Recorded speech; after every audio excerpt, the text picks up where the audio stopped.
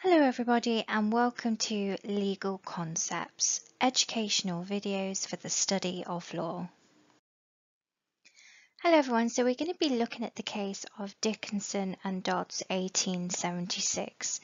So this is a case that you're going to learn at the very beginning of studying contract law and you're going to be looking at it when you're studying offer and acceptance. So when somebody makes an offer, if they change their mind, they need to revoke or withdraw their offer.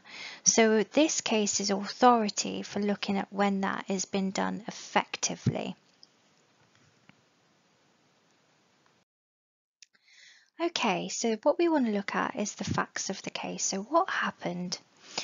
So here the defendant offered to sell a house to the claimant and the offer was to be left open until Friday, June the 12th until 9 a.m.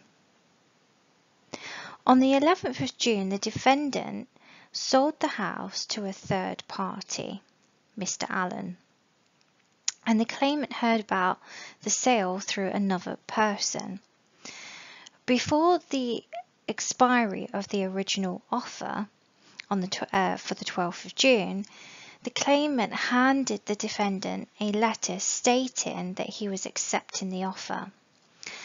And the Court of Appeal had to decide whether the revocation of the offer had been effective, even though it had not been directly communicated to the claimant, Mr. Dickinson.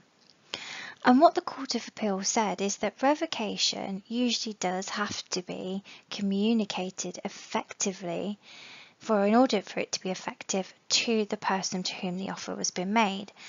But through this case, they realised and decided that actually this can be effectively communicated if it's done through a reliable third source.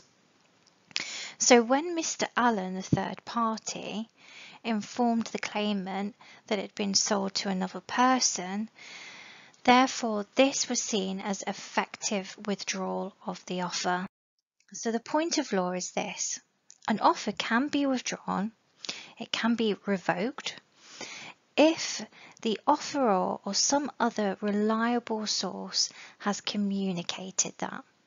So Dickinson and Dodds is a really good case for you to use in problem scenarios and talk about the different ways that it can be effective. So if you're presented with a problem scenario and it's not the person who originally made the offer, you can ask the question, is that person, that third party, a reliable source? If it's a reliable source, then the offer might have been withdrawn or revoked, and the authority would be this case, Dickinson and Dodds. I really hope that you liked listening to this video. And if you would like more videos, then please take the time to subscribe and like. Thanks.